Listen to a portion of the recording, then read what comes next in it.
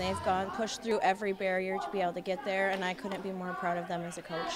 The Horseheads High School cheerleading team has just won the Section 4 title and are heading to states. We're super excited. At the beginning of this each season, we set a goal, and our goal this year was to try and qualify for states, and they've gone pushed through every barrier to be able to get there, and I couldn't be more proud of them as a coach. Um, you have two minutes and 30 seconds to put your whole routine on the mat, and if you have a good run, it's good, and if you don't, you don't. And it was a good run for us, and I'm really glad that that was showcased, and I am so proud of them. For sophomore Liv Bicknick, this is her first time heading to states.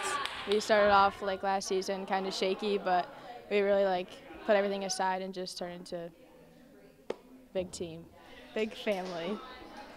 They're a very hardworking and determined group of kids, and the commitment and drive is what has helped to get us so far into working together as a team. For the one and only, this is his chance to show that the sport has no gender. It feels like liberating being like the only one and being special. Sometimes I let it like add to me. I'm like, okay, so I need to hold up the reputation. I need to like show that boys can do this and it's not like a stereotype. And heading to states makes Sierra Girardi's senior year extra special.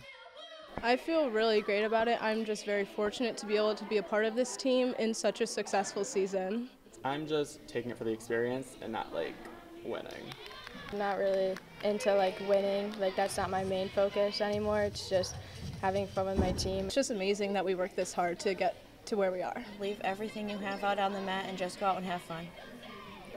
The team is set to compete on Saturday, March 7th at the Rochester Institute of Technology, and everyone is encouraged to come out to watch the Raiders cheer, stunt, tumble, jump, and bring home the championship. In Horseheads, Tai Wong 18 News.